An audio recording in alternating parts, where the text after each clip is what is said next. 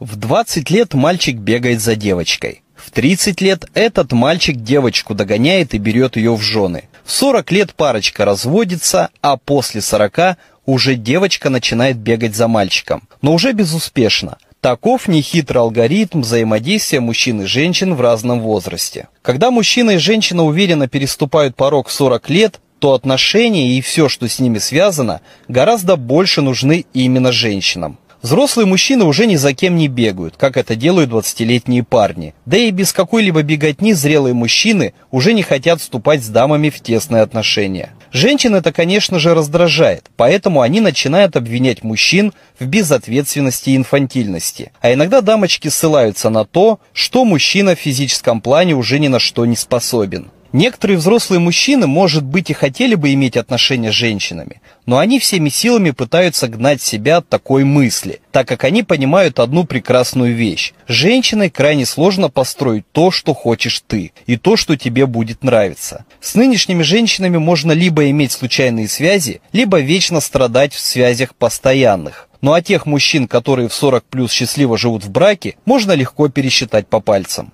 Когда взрослому мужчине какая-нибудь дамочка начинает предлагать общение, близость или отношения, он тут же начинает вспоминать то, чем закончились все предыдущие попытки это сделать. И, как правило, это ничем хорошим не заканчивается. Неудачные истории ухаживаний – предательство, расставания и разводы, разделы имущества, алименты и огромное количество негатива, которое с лихвой перекрывает те немногочисленные приятные моменты, которые случаются в самом начале отношений. Вспоминая весь этот негативный опыт, мужчина приходит к единственному верному для себя решению – избеганию каких-либо тесных контактов с представительницами прекрасного пола. Ведь многие дамы в своем зрелом возрасте не становятся мудрее, они лишь стареют, становясь от этого еще более злыми и еще менее гибкими. Все мужчины, которые отговаривали меня от официального брака, делали это не просто так, а приводили в пример свой жизненный опыт. Любой взрослый мужчина может вспомнить достаточное количество историй, в которых ему насолили или навредили женщины. Но при этом истории, в которых женщины сделали бы мужчину счастливым, либо вообще нет, либо их можно пересчитать по пальцам руки фрезеровщика.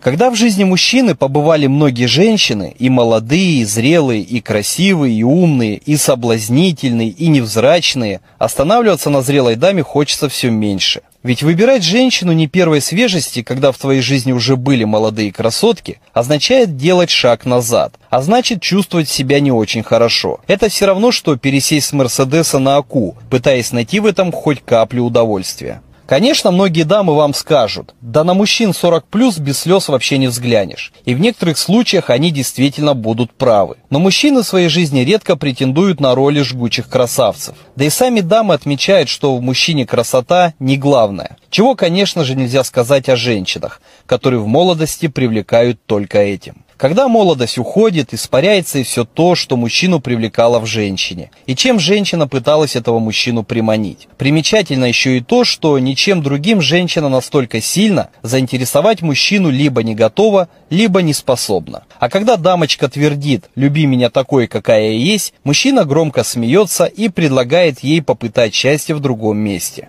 Молодой 20-летний парень очень часто живет страстью и желанием эту страсть реализовать. 30-летний мужчина живет семейными заботами, которые будут с ним до самого развода. А вот мужчина 40-летний и старше наконец-то может пожить для самого себя – ведь у него нет особого желания бегать за жгучими красотками. А семью, которую он упорно выстраивал в 30, к 40 годам обычно уже нет. Первое время после развода мужчина может и горевать, и заниматься самобичеванием, и уничтожать себя алкоголем, сгорая от одиночества и чувства вины. Но рано или поздно грусть проходит, а ей на смену приходит большое количество свободного времени, большое количество возможностей, которые можно реализовать для себя и еще больше радоваться жизни. А когда мужчина после всех этих невзгод, связанных с женщинами, наконец обретает возможность жить в свое удовольствие, он уже не только не стремится кого-то себе найти, он просто вынужден начать отшивать дамочек, которые претендуют на его свободу, на его ресурсы и на его новую беззаботную жизнь.